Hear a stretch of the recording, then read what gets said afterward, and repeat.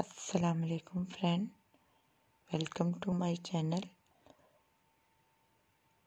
Friend, बहुत सारी दुआएँ हैं और बहुत प्यारे प्यारे आपके लिए ऊन के मास्क के आइडियाज़ और डिज़ाइन दिखा रही हूँ।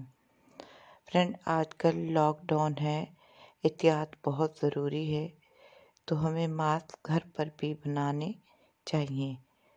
तो आप चाहे तो कैप के साथ भी बना सकते हैं और आप इस तरह से ऊन से प्यारी प्यारी भी बना सकते हैं। अगर आपके पास कोई रफ़